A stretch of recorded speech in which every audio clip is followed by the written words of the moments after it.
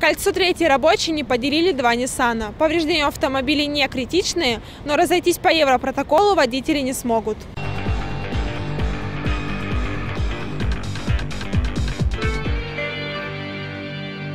Кольцо «Третий рабочий» путает многих автолюбителей. Порой они начинают сомневаться в верности своих действий. На этом кольце такое случается со многими автомобилистами. Порой происходит это из-за самой банальной невнимательности, а иной раз столкновения здесь случаются из-за отсутствия должной подготовки у автолюбителей.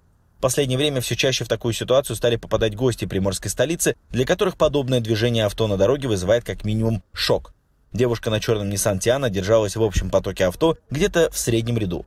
Дама намеревалась попасть на кольцо, но неоднозначные маневры других автомобилистов и хаотичные движения сбили ее с толку. Она направила свой авто в сторону кольца, но совсем не учла того, что при движении по кольцу приоритет у тех автомобилистов, кто уже находится на нем. Решив не вникать в такие формальности, она просто рванула вперед, надеясь, что ее пропустят. Дама за рулем Ниссана иностранка и попросту могла не знать всех нюансов ПДД. В этот момент по кольцу шел Nissan Сима, но настойчивость водителя Симы ничуть не смутила хозяйку авто, и она рванула на рожон. Одним рывком дама на Тиане протаранила бампер с правой стороны Сими и таки оказалась на кольце, испортив две машины, решительная автоледи все-таки добилась своего. А по повреждению машины получили довольно неплохо. Ходовые способности обоих японцев в порядке, но внешний вид восторга не вызывает.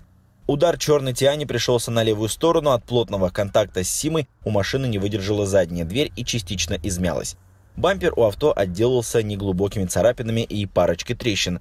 Повреждение Симы выглядит, конечно, внушительнее.